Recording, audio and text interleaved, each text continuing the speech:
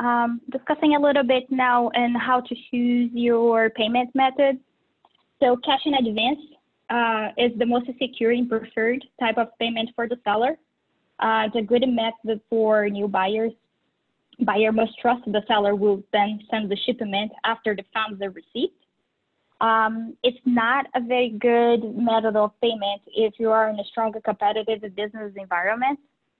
Um, they might be obtaining credit from a other company, but it's something to, to think of. Uh, open account, it's most security preferred type of payment for the buyer because the buyer, the same time that you're assessing the risk of selling to them, they might be assessing the risk of buying from you. Um, so this method of payment allows them to receive the cargo and then they will pay uh, the entire shipment once the cargo is received at destination.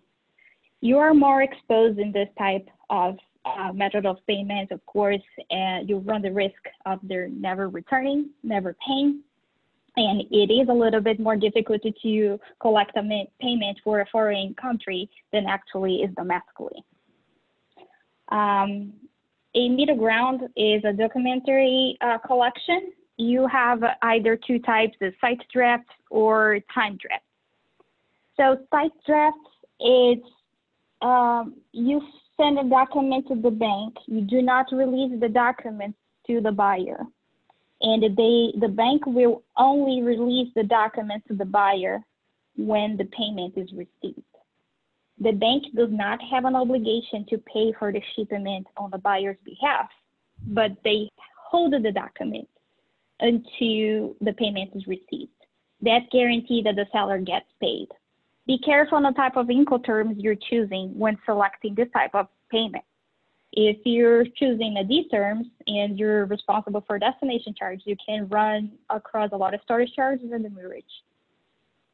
Time draft is just a little is just a step above of open account. So the documents are sent to the bank, the shipment gets delivered to the to the buyer, and they agree upon a date that the payment will be collected. The bank will then collect the payment and revert to the seller the bank again does not have an obligation to pay um, the seller if the buyer doesn't uh, come through.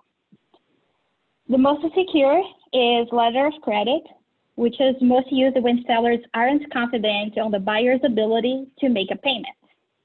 The buyer can also request the letter of credit for the seller if they want to finance against it.